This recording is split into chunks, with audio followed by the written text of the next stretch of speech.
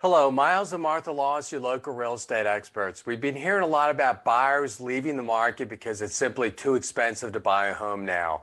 But what exactly does this mean? What are the numbers? Well, according to Realtor.com, the mortgage rate increases right now are the fastest, the largest rate increases in the past 40 years. In addition to that, this past year, the median home prices were seeing an increase of 15%.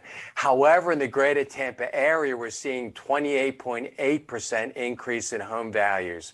So what does this mean to the buyer? What are the bottom line numbers? What the buyer looks at is their monthly payment because that's what they can afford. Yes, home values go up and prices go up. However, they're going to look at the monthly payment and what they can actually afford. Well, the monthly payment from this time last year to this time this year is a 50% increase. So that's a significant increase in a mortgage payment, and that will affect buyers in the market and will cause buyers to leave the market as that continues to increase. If you have any questions or need to buy or sell real estate, reach out to the number below. Don't leave a comment and subscribe to our YouTube channel.